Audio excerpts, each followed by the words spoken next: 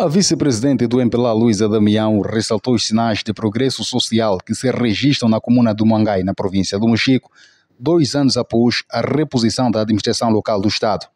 Após permanecer isolada durante 45 anos sem a presença da administração local do Estado, a comuna do Mangai começou a beneficiar as primeiras infraestruturas sociais com a implementação do Plano Integrado de Intervenção do município. E esse trabalho que o governo do MPLA dirigido pelo presidente João Lourenço, vai continuar a fazer.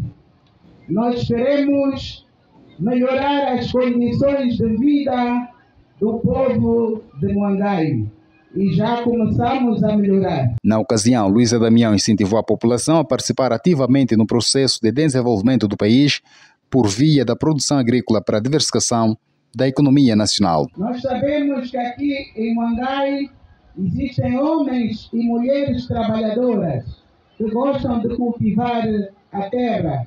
Às vezes o que faltam são alguns meios agrícolas.